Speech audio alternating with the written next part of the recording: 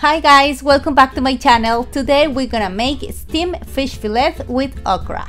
The all ingredients below in the info box. In a pan we put oil and we're gonna add our fish fillets. Just add a little bit of salt and pepper. Cover the pan and let's cook for a few minutes. Now we're gonna cook the frozen okra. Don't worry, you don't need to add water. And don't forget to check the fish fillets every few minutes. Now we're gonna add tomatoes and tomato sauce to taste.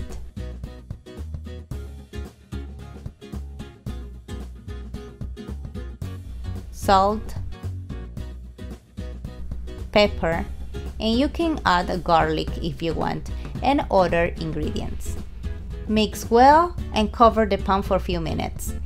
Now let's check the fish fillets again and move the pan from side to side to verify the fish fillet have not stuck to the pan. Flip the fish fillets, cover the pan and let's cook for few minutes more. And done, here you have the food. Please tell me below in the comments if you want to see more recipes like this. Don't forget subscribe to my channel, thumbs up and follow me on Twitter, Instagram, Facebook and Snapchat. She's Candy, my coton de Tulear. Please follow her every Saturday here on my channel. Don't forget, watch the last videos. See you next time. Bye bye.